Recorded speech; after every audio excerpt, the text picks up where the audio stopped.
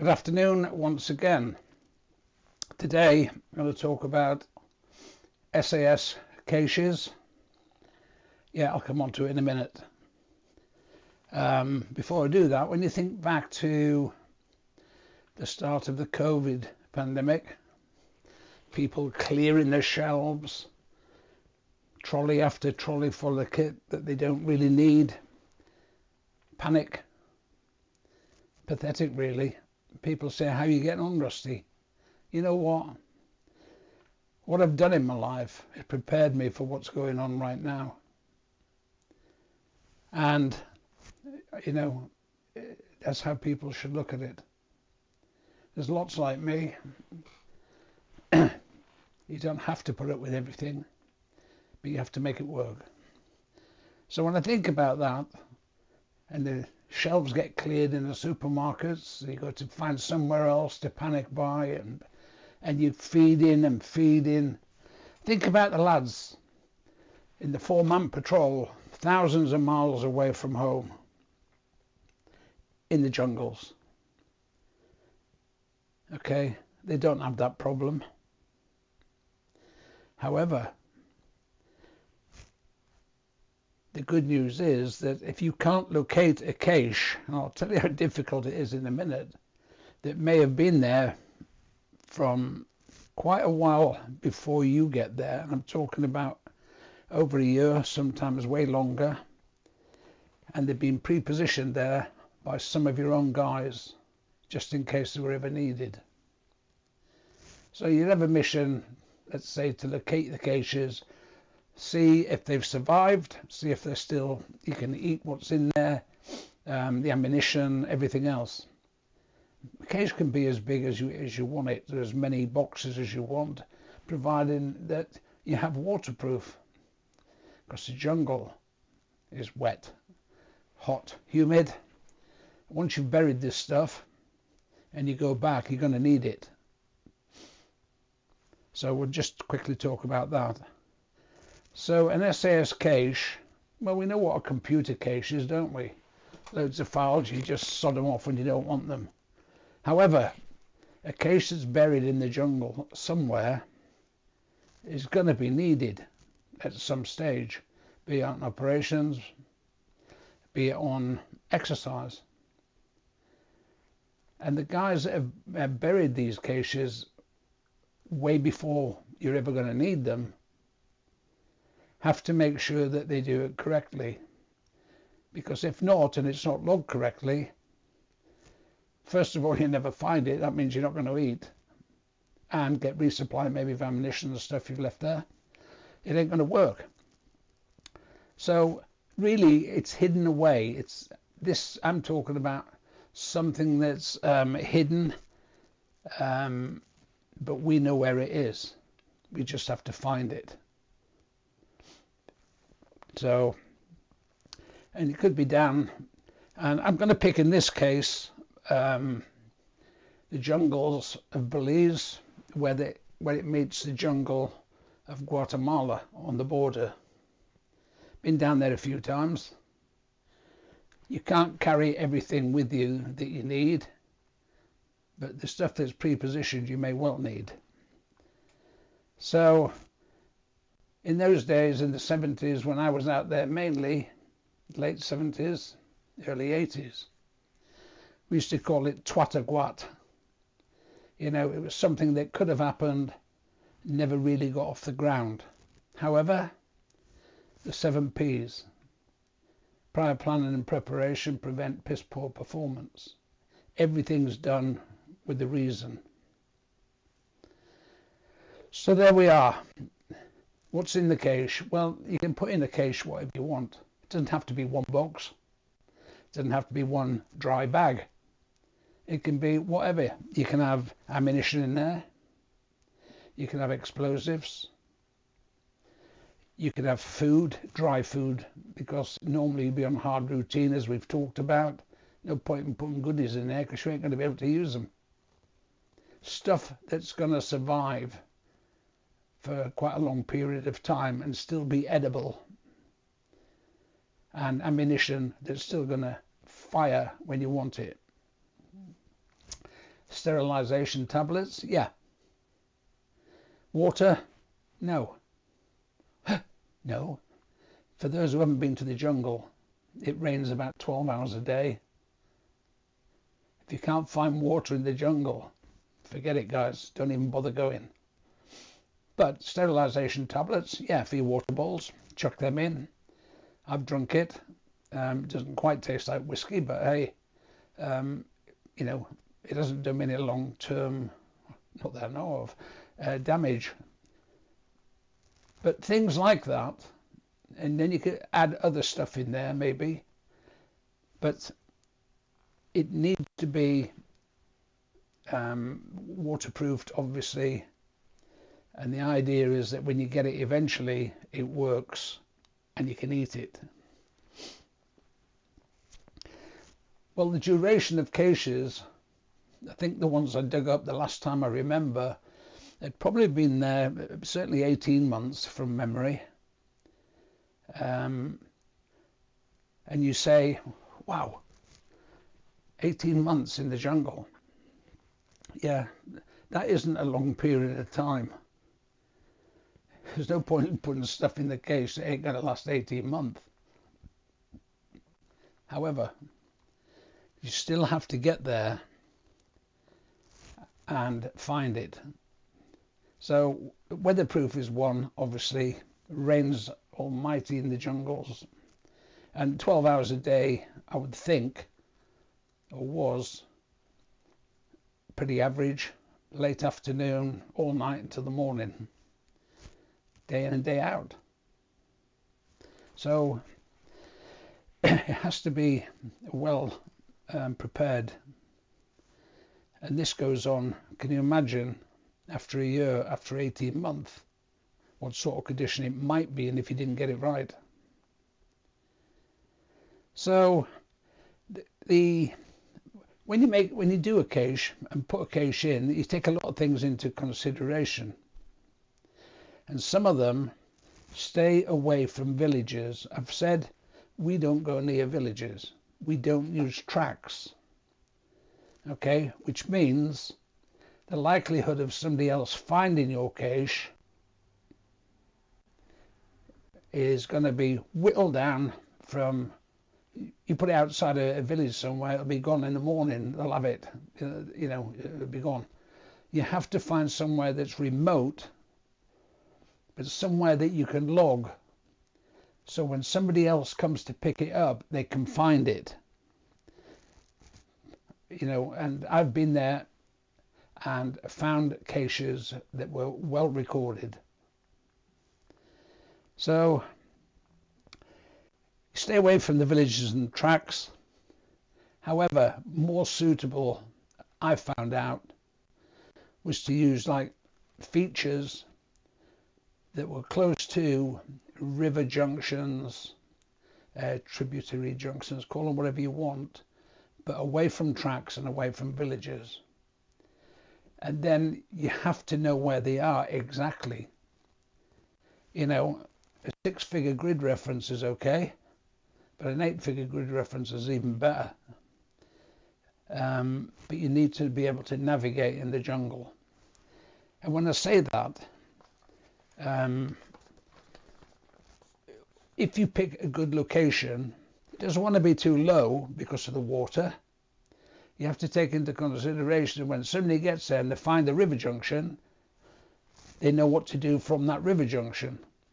And this is where it becomes slightly more, um, I don't want to say technical, I'm going to use the word technical. So the, the patrol has gone out uh, to locate the cache and you know, I'll give you an example of what happens in a minute. But this is where you find out who your friends are. You wouldn't be in the SAS at all if you can't map read. I can tell you that now. This is a local map of Dartmoor, tracks, villages, post boxes, reservoirs, lots of contour lines, Nothing like a jungle map, I can tell you that now. what you get in a jungle map is a lot of green. That stands for trees. Lots and lots of contour lines. Some of them very close together, which means it's steep. The further apart a contour line is, would generally say that it's not quite so steep. But features that you can map read from are very difficult and very, very um, hard to find. But that's what you've got. So you go out there and the map, you lose your map, you've had it. Gets destroyed by water, you've had it. You don't mark your maps in the SAS, you're not allowed to. Somebody finds them, it'll give them all sorts of clues. So there's a lot of stuff goes on. You know, you don't have a big red ring, X marks a spot. Doesn't work like that. So what you have to look at, the weather is one to take into consideration. Nobody can tell me that they know what the weather's going to do after you put a cache in for the next 12 months, 18 months, whatever. You have to prepare in your head, oh, you know, if it gets really bad, this is what you're thinking. How the hell do I get this into where somebody's going to find it? And it becomes you against the jungle. Don't fight the jungle. Never fight the jungle. It'll win. But you have to make common sense decisions. There's four of you. Chinese parliaments. That's what we do. Are we allowed to say that? Well, Rusty just said it. So what? However, that's the way it is. Sit down and then you figure out the best place for your caches where somebody else can come and find it when it's needed. so that's you know that's the way it is. Remember, there's animals, wild animals, all over the place. If you don't get it right, the wild, the, the wild animals will have a tea party. You know, they'll have a tea party. Unless you chew on ammunition or something, I suppose. But um, but yeah, it, it, it is quite. It sounds technical, and it is quite technical to, to get it right. So let me give you an idea or an example of how you would go to locate a cache on your future intentions should you be down there and you need it. You'll have a map. You'll have other forms of um, locating, for example, grid references, um, what it is you're trying to find. It might just be a Y tributary, two rivers coming in, prominent trees maybe on either side. It's very hard to explain because you're thinking, I can come back and find this. Somebody else has got to come back and find this and they may need it in an emergency. So it's not about just digging a hole, say that's what it is. Patrol cameras. Everybody, not everybody, sorry, in a patrol, you normally have at least one camera, a patrol camera. That, once you pick your cache, take a few shots of the surrounds to help in the briefing pack you put together for somebody else that's coming out. When you get back to camp, they're not Polaroid guys. The Polar, they, they, they were patrol cameras, small ones. You had to get them developed when you got back. There's no Gucci stuff like there is now. And that's why I'm saying take the pictures of where your cache is. Then you've got the grid references of where it is. Then you've got your written communication where it is. So somebody, when they pick it up and go, right, I've got to go and find this, I know what to do. So an example, once you've got all that type of stuff, probably get a helicopter from somewhere down towards a jungle border. You'd have um, a grid reference where you're going to be dropped off at. It wouldn't be on top of the cache, trust me on that. Uh, it could be a couple of kilometers away, could be further. Depends on the weather, depends on the pilot's attitude. Um, but you need to, when you get off that helicopter, you need to make sure you know exactly where you are. Otherwise, you're never going to find anything. So, first of all, helicopter ride, patrol drops off, confirm where they are before moving anywhere. Once they've got that, and they've confirmed the, the right grid reference, everything there ties up, then the commander of the patrol, the four guys just get up and go. Okay? You don't walk fast in the jungle. You don't walk fast. Okay? It's a stealth. So they go to where their grid reference is for the cache and off they go. Uh, it, it's patrolling as normal, but as I say, there's some days you might only make 500 yards in the jungle. Some days you can do a lot more than that. No tracks. Okay, away from villages. Your mission is to locate that cache. So once you've confirmed everything and you moved out, until you get target, as we'll call it, which is the cache, that's what you were aiming for. When you're there and you think you're there, you look around, you confirm all the features around um, what you're expecting.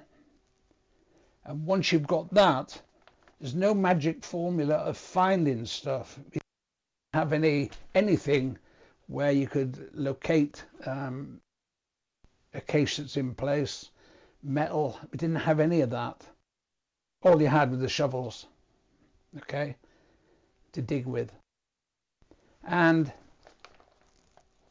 it could be something like, let's say you're at a river junction there, and then the, the map, then the, the instructions say east,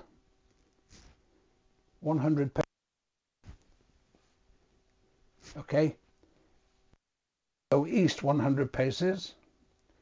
And it might say it could say anything you know um, down tree big thick fallen down tree. How over the years is it? But it, there. It might say then walk south 20 meters that's just an example you until you get on the ground what you're going to find and can't pre-log it. You have to wait and do it properly. So you've done that. You get there and start digging. If the guy's looking out and you, you dig around that area, hoping to find the cache.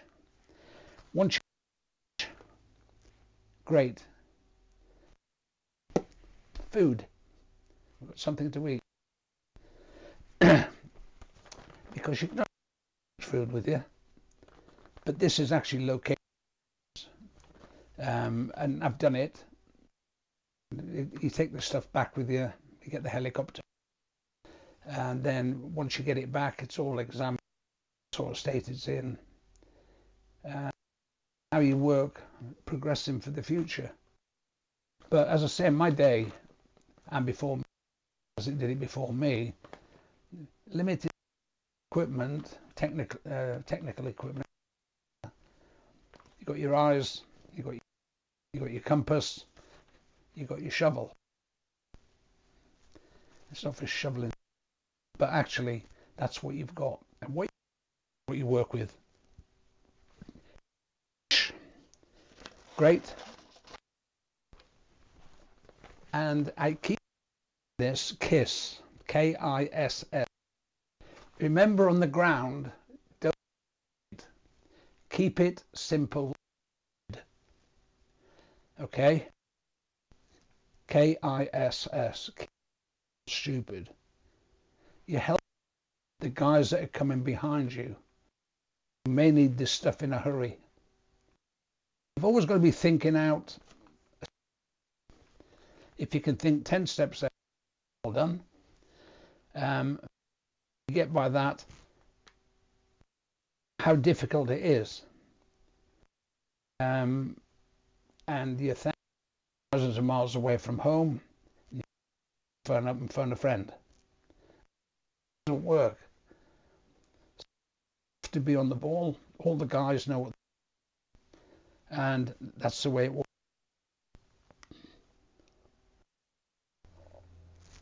Same on the an exercise maybe. It doesn't change. The guys are competent, but never rush because you are going to be the one who's gone back to pick this stuff up. Teamwork at the end of the day. It might be teams you never see and never meet, but they are on your side. So yes, they talk about vegetation and the vegetation can change. It's been there for thousands. Every day you can hear sleep at night there, trees down every day. So be unlucky that your tree that had fallen a mark on it, shrouded by another hundred trees that have got.